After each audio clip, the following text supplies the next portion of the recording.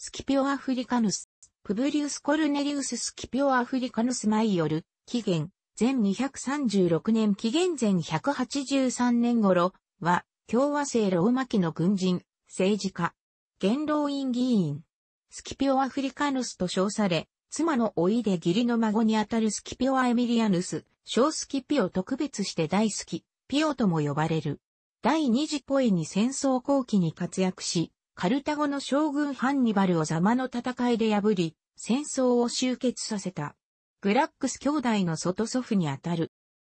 以降の解説では、他のスキピオ家との人物との混乱を避けるために、以下の故障に統一する。執政官を輩出した名門パトリー記である、コルネリウス氏族のスキピオ家に生まれる。父は、プブリウス・コルネリウス・スキピオ、母ポンポニアは、社会的に成功したプレープス出身であった。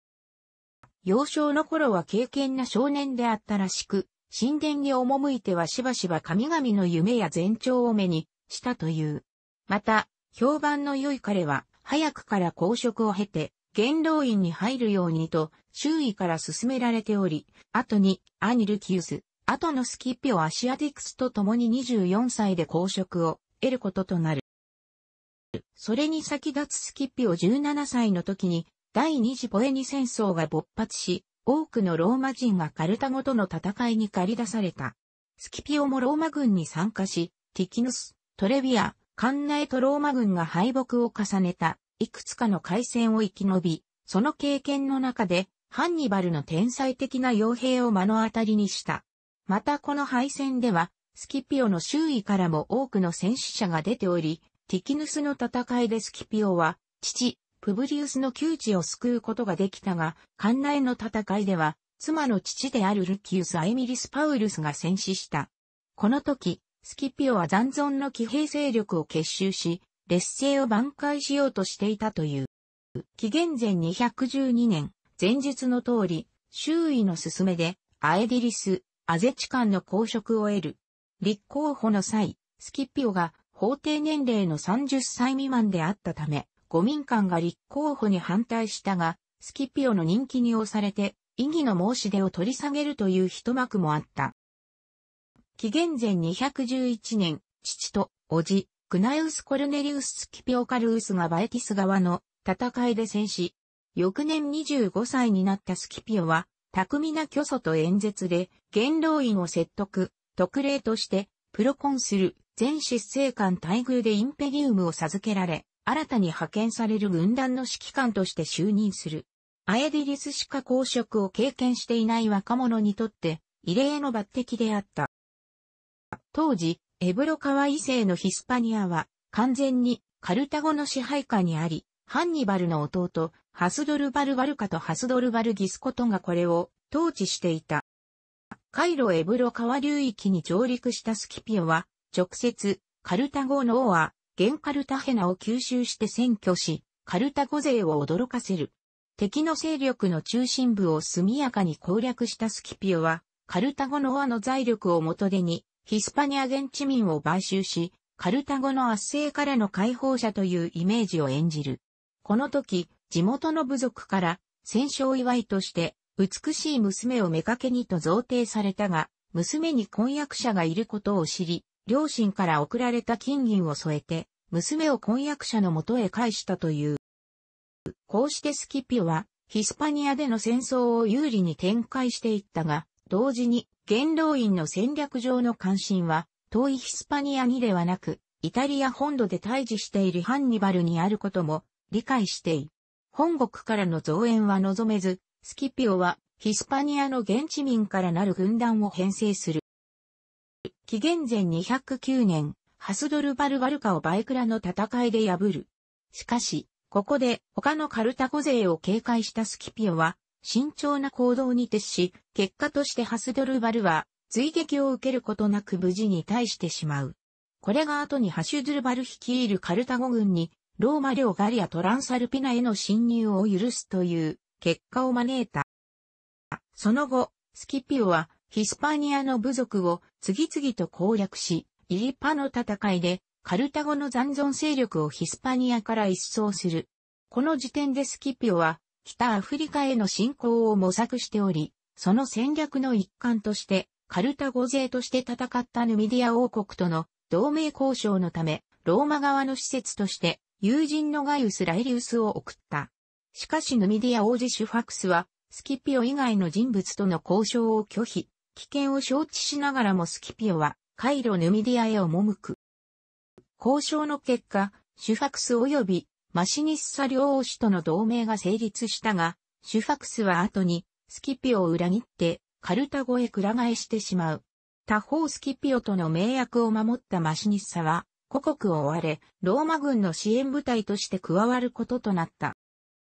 こうして同盟を成功させたスキピオであったが、ヒスパニアへの帰路に反乱が勃発し、鎮圧に手間取る間に勢力を保持していたハスドルバルの精神を許し、ローマ領ガリアトランサルピナへの進軍を許してしまう。しかしそれ以外の事態は順調に進み、紀元前206年、カディスの攻略を最後に、ローマのヒスパニア支配を確立し、スキピオはローマに帰還した。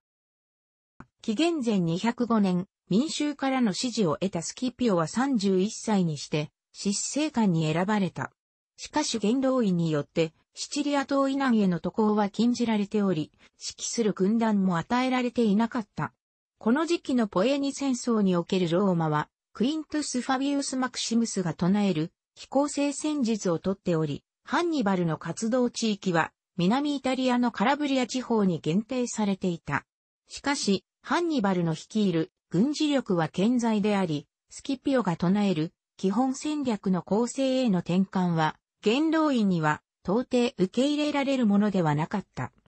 そこでスキピオは市民の中から義勇兵を募集し、シチリア島で兵の訓練に火を費やす。彼の呼びかけは全イタリアに届き、特に館内の戦いで生き残った者たちが雪辱のために応募したといスキピオは赤い頃に経験した敗戦を通じて、ハンニバルの傭兵を目の当たりにしており、機動力に優れた騎兵の活用が鈍重な、重装不評への攻撃に有効であることを理解していた。また、カルタゴ軍の内情、すなわち傭兵に頼っており、騎兵兵力はヌミディア騎兵に頼っているという欠点を見抜いていた。さらにスキピオは、自軍ローマの騎兵の質も理解していた。ローマ軍の騎兵戦力は、現地の諸部族か上流階級のローマ人かのどちらかであり、諸部族は忠誠心の点で当てにならず、ローマ人騎兵はただ不評との違いを誇示したいがために、馬に乗っているだけ実戦力として不安だという欠点がある。この状況の中でいかに盛況な騎兵を連成するかという課題があった。ある逸話によると、スキピオが思いついた解決法の一つに次のようなものがある。シチリア島の支配階級は、古来外部からの支配を好まず、ローマに隷属したのも第一次ボエに戦争以降のことであ、激しく抵抗していた。スキピオはそのプライドに目をつけ、彼らの中で馬と武具を支給できるものを騎兵に取り立てて、ローマ軍の中に編入し、多数の騎兵を作り上げたという。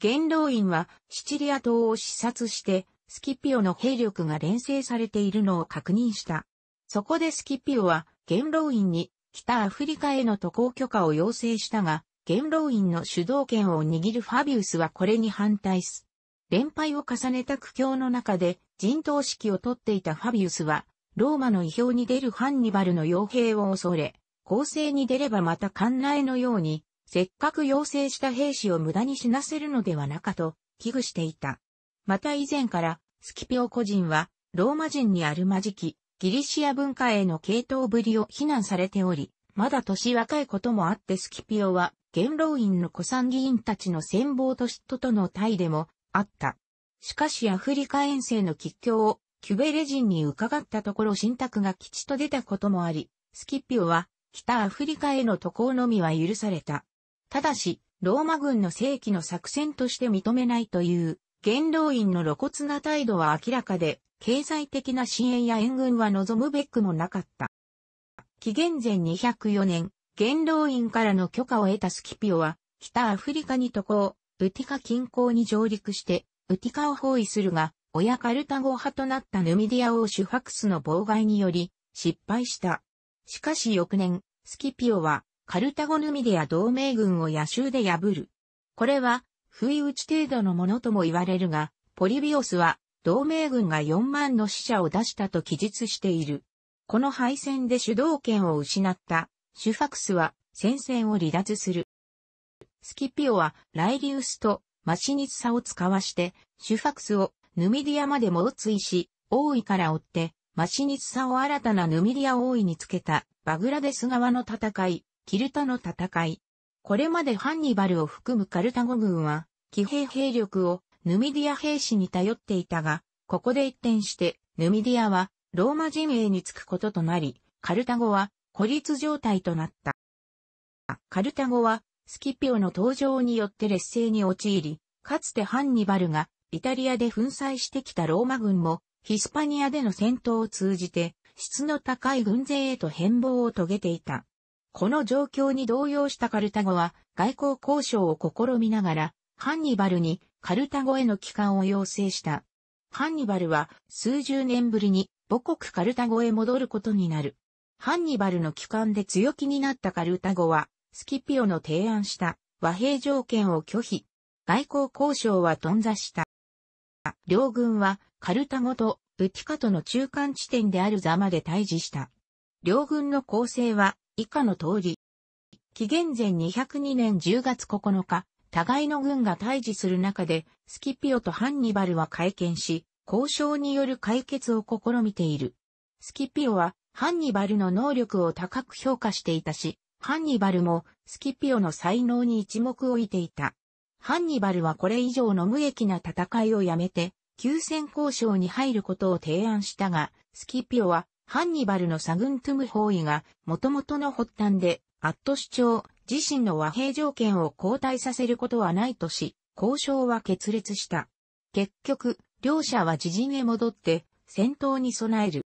騎兵で劣るハンニバルは伝統的な重装不評を主体に厚く三列に陣を敷き、前面に戦像を押し出す陣形を築いた。これに対してスキピオはマニプルスを主体とする小集団をチェック模様、クインカトゥス隊列のように布陣、右翼にマシニッサ率いるヌミディア騎兵を配置した。戦闘が始まるとまず、ハンニバルの戦像隊が突撃した。これに対して、小集団の機動力を生かしたローマ軍は柔軟な回避行動をとり、重装不評の前列に配置してあった、軽装不評の格乱攻撃や投げ槍の撃によって、戦像は隊列を乱して、暴走、混乱に陥った。マシニッサのヌミディア騎兵とライリウス率いるローマ騎兵は、劣勢のため交代するカルタゴ騎兵を追って、主戦場から離れ、残された不評の前列同士が激突した。不評同士の戦闘は熾烈を極めたが、不評を指揮していたスキピオは、兵の疲弊を抑えるために一旦停止して、戦線を横に広げ、まだ攻撃に参加していなかったハンニバルの主力を包囲する形で攻撃した。そこに敵騎兵を蹴散らして戻ってきたヌミディア騎兵とローマ騎兵がカルタゴ不評の死角である後方から襲いかかり、ハンニバルがローマ軍を打ち破ったカンナへの戦いそのままの包囲殲滅が実現し、ハンニバル軍は大敗した。この勝利によってスキピオは事実上、第二次ポエニ戦争を終結させたのである。戦後、スキピオは宿敵カルタゴに寛容な方針で臨んだ。多くのローマ人はスキピオがそのままカルタゴの包囲攻撃に取り掛かると思っていたが、ハンニバルも裁かれることなく、休戦が成立した。スキピオのこの戦後処理は、多くの若いローマ人たち、その中には、後年スキピオを弾劾するマルクス・ポルキウスカとケンソリウスがいたの反感を買うことになる。ギリシア文化を好み開放的な思考の持ち主であった。スキピオは、ハンニバルこそ戦後のカルタゴ復興を担う人材であり、彼を許すことは、カルタゴの、そしてローマ自身の戦後勝利に大いに役に立と考えていた。しかし、幼少時代に故国ハンニバルに蹂躙され、演者が次々と殺されていく中で育った。カトたちにしてみれば、ハンニバルは同胞ローマ人に斬首、卓形など残酷な仕打ちを行った人物であり、この溝はスキピオの晩年に政治的な対立として表面化してくる。ローマに戻ったスキピオは熱狂的な歓迎を受け、凱旋式の挙行を許される。そして、アフリカヌスの損傷を授かり、以降スキピオアフリカヌスと名乗った。旧国の英雄である彼には、他にも、終身失政官、さらに終身独裁官の提案が何度もなされたが、スキピオはそれらをすべて断っている。そして、紀元前199年に、ケンソル、観察官に選ばれたが、その後数年間は静かな隠遁生活を送った。紀元前193年、敗戦によりローマの同盟国となっているカルタゴとヌミディアとの間で紛争が起き、スキピオはその調停役として北アフリカに赴く。しかし調停は不調に終わった。当時のローマ人はハンニバルを恐れるあまり、カルタゴの肩を持つことを好まなかったことが原因であり、ローマ元老院がカルタゴに圧力をかけたため、ハンニバルはシリアへ亡命してしまう。すると、今度はセレウコス朝のアンティオコス三世のもとに身を寄せる、ハンニバルがアンティオコス三世をそそのかして、カルタゴに侵攻して、勢力を盛り返し、イタリアに再び攻め入るのではという不安が頭をもたげ、ローマはセレウコスはさえ宣戦布告した。葬式は執政官に就任したスキピオのアニルキウスと親友ライリウスが取り、スキピオ自身は参謀役として従軍するシリア戦争。スキピオ兄弟はマグネシアの戦いで勝利を収め、この戦いでルキウスにアシアティクスという損傷が贈られ、彼はスキピオアシアティクスと名乗るようになった。旧国の英雄として、その名声に並ぶもののなかったスキピオであったが、元老院では彼の性的加トが着実に主導権を握り始めていた。そして輝かしかったスキピオの政治キャリアに水を差す出来事が起こる。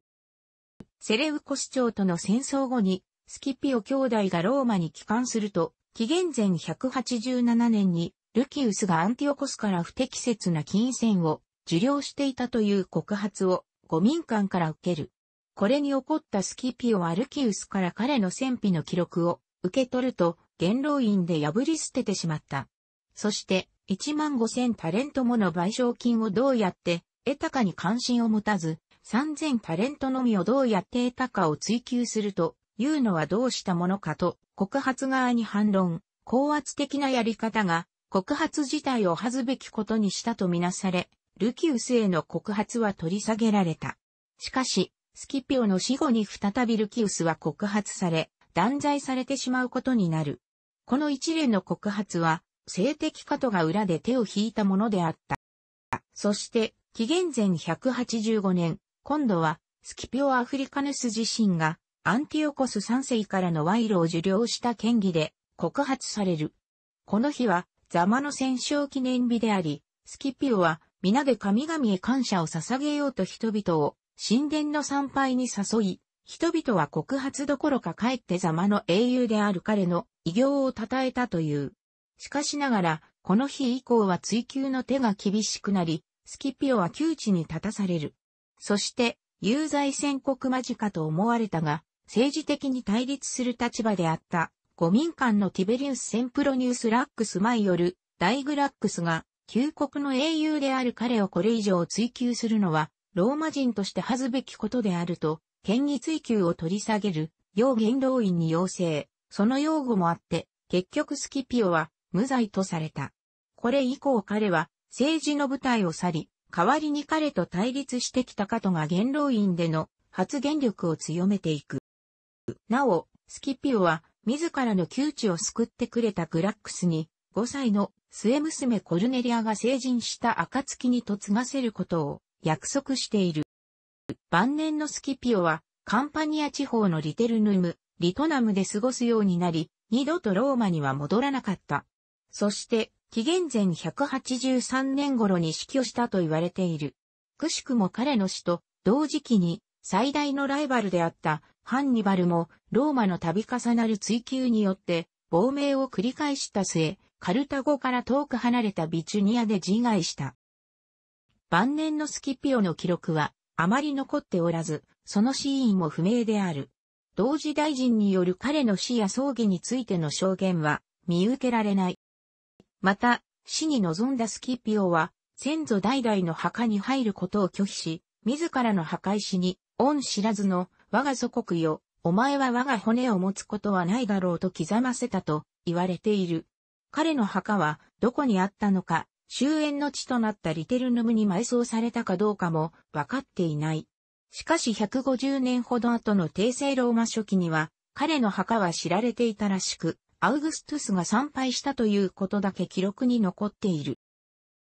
スキピオの死後、紀元前172年に成人した娘コルネリアは、スキピオが約束した通り、グラックスのもとへ嫁いだ。結婚の約束をした時はまだ、コルネリアは幼かったため、実際の結婚はグラックスが40代半ば、コルネリアは18歳になってから行われた。そして二人の間には一女、スキピオアエミリアノスの妻センプロニアとニナンが成人した。グラックスが60歳半ばで亡くなった時、ティベリウスは9歳前後、ガイウスはまだ幼く、父の顔すら知らなかったと思われる。スキピオの外孫にあたる、この兄弟は、グラックス兄弟として、後のローマの歴史に変革をもたらす重要な役割を演じることになる。また、長女で末娘と同盟のコルネリアはジオイにあたる、プブリウス・コルネリウス・スキピオナシカ・コルクルムに嫁いだ。コルネリアとスキピオナシカとの間に、プブリウス・コルネリウス・スピオナシカ・セラピオが生まれ、母方のいとことなる、グラックス兄弟とは、性的として対立することになる。子孫であるプブリウス、クイントスは、執政官を務めた。スキピオの戦術は、ハンニバルがカンナへの戦いで取った戦法を踏襲したものであり、敵の不評による攻勢を味方の不評で防御しつつ、優勢な味方の騎兵が敵の後方に回って、これを包囲殲滅するというものであった。この戦法は現代に至るまで有効とされており、楽しくご覧になりましたら、購読と良いです。クリックしてください。